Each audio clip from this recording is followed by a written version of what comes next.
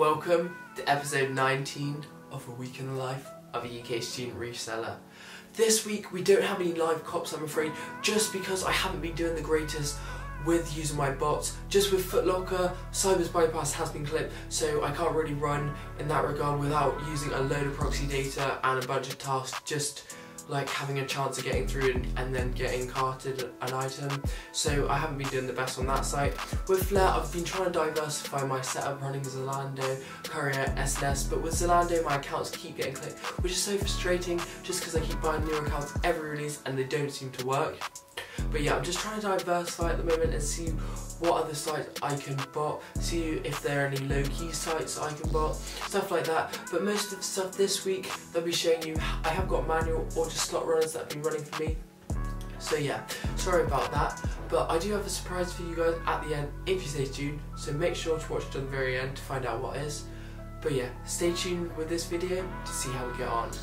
Right folks, so we got a couple more packages that came in the mail today, and then I just went and saw again this morning. I managed to pick up a couple more items. So I'll show you what we got. Firstly, um, we did just manage to pick up another one of those uh, blue dunks. This one in a size 4, again from JD.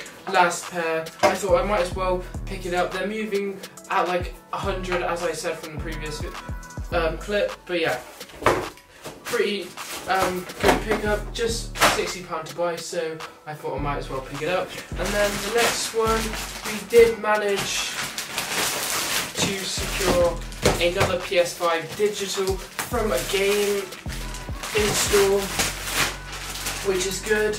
Um, I got the digital because they're moving a bit faster and because of the lower retail it does leave more room for profit. So about 100, 120 on top depending if you sell local or on marketplaces. But yeah, I'm pretty happy about those two in-store pickups. Let's get into the online pickups. First one from Office.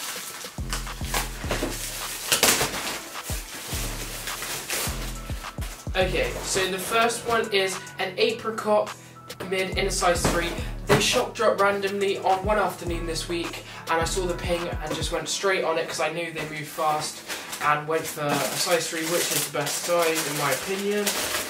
But yeah, you've seen these on a previous episode before, but this second pair, currently, I haven't checked the market recently, but they were sitting around the 200 mark, so around like 70 on top, which is pretty good. Definitely a women's colourway and shoe targeted, but yeah. That's the first pickup, so I'm happy about that. And then this is the second one.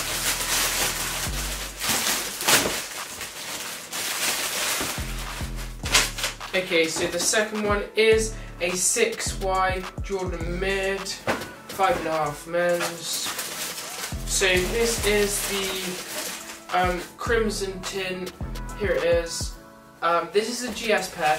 Um, the GS pair do seem to be moving a bit better just because of the lower retail so it leaves more room for profit. But they're currently sitting around, I think it was the um, like £18 mark and they're 55 to buy. So definitely some room for some lunch money nevertheless. But yeah, I'm happy about this. This dropped on the same day as the apricots, funnily enough. Just saw the Pagan Flex, best cook group in the game. Do not sleep on it. But yeah, pick these up. Obviously got the pink or crimson as they're calling it back and then the black toe with the white white and the pink outsole. But yeah. So I'm pretty happy about those um, four pickups we got in. Um, but that's all we got in for the moment. Oh, uh, we did have a Footlocker drop of the zebras. I wasn't able to get any footage from it, but Cyber did manage to secure us one pair, which I'm happy about. I'll show you what that looks like in hand, but I think currently they're sitting around the 140 mark, so pretty good nevertheless. Stay tuned for some more updates. Right folks, so five of the first cause BOGOs just came in, and we also just got a neutral grey 85 low, in a size 9.5, my personal size, my brother's account managed to hit this off sneakers, so I'm pretty happy about that. Really wanted this for personal, just a really clean summer shoe, as I say. So let's see what these cause BOGOs are like.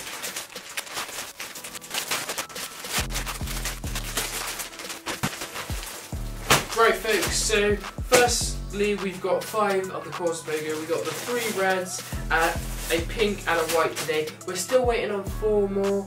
So they should be coming in and once they come in I'll be sure to show you them. But currently resale is sitting around the 80 to 70 pound mark. That's what I sold all mine at. I pre-sold them all straight away on the day just so they didn't dip.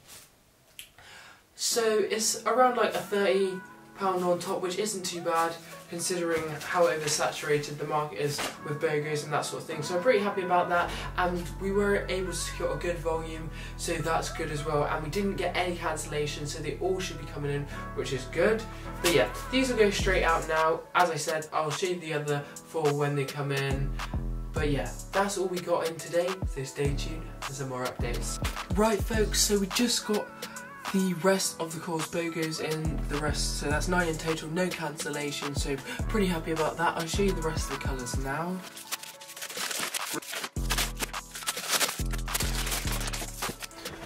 Right folks, so that's the rest of the four that came in, these going straight out with the other orders.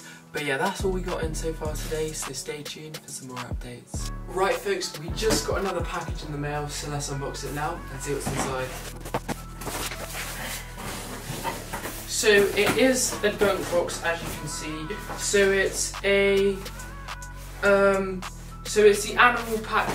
The I think it's called the zebra or something. But as I said, I was running out on Cyber. I didn't have any footage, but I managed to cop it anyway.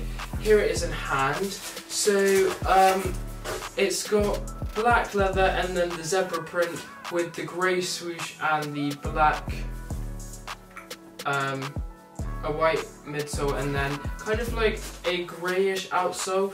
The leather's not that great on this pair, but um, it does look a bit better in hand than the photos, I must say.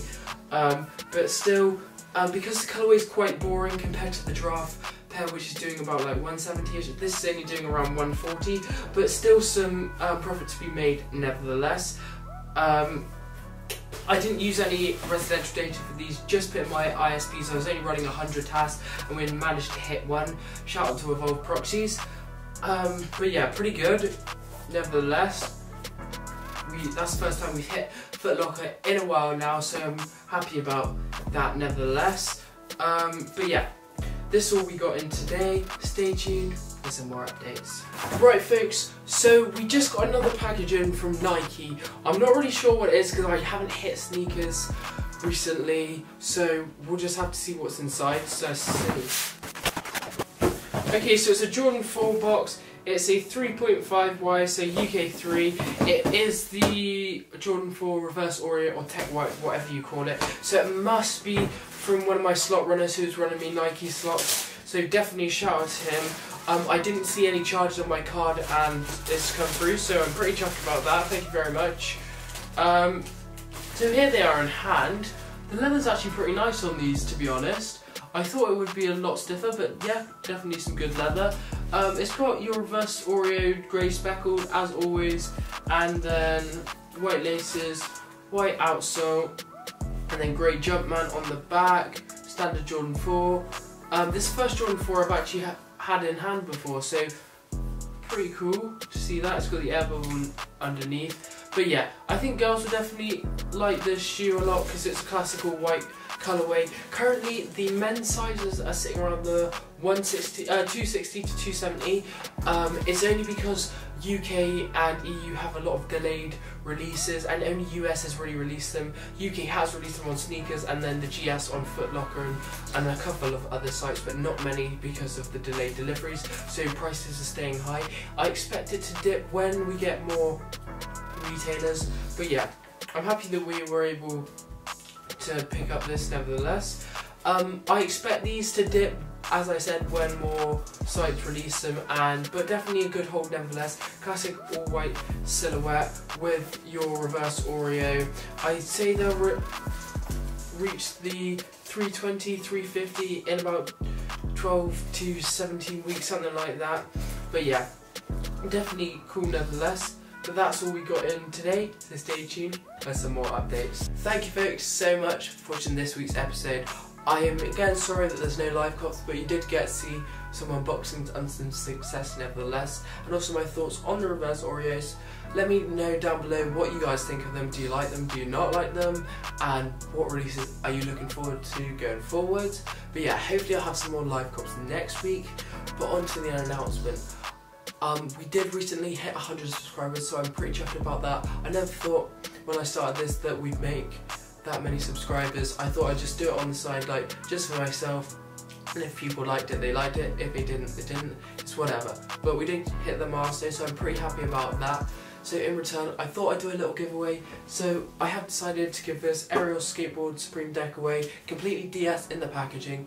All you gotta do is like this video, be subscribed to the channel, and leave a comment down below.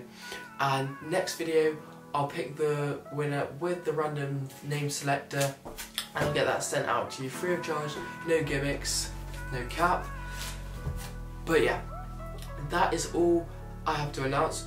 Thank you again for all the support and stay tuned for next week's video to find out the giveaway winner and see if we're more successful.